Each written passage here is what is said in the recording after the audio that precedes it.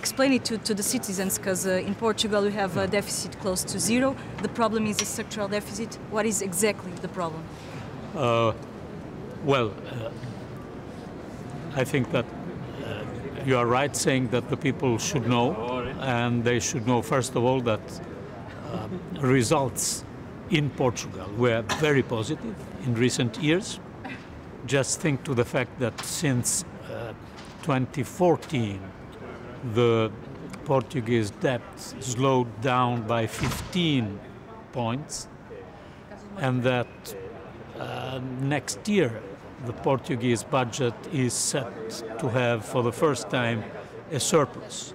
So we have very positive results, uh, and we have two specific uh, benchmark on the uh, economic surveillance process uh, of the Commission.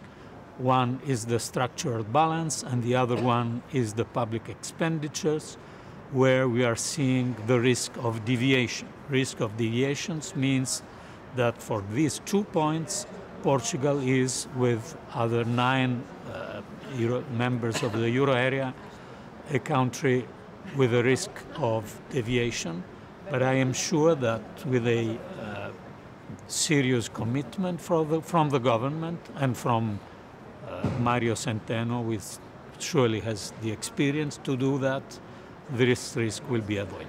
So the, the, the, the measures that uh, should be taken, and the Commission was asking for measures to be taken, is concerning the, the, ex- the, expense, the To, expenditures. to take under control the public expenditure, first of all. Eh, commissario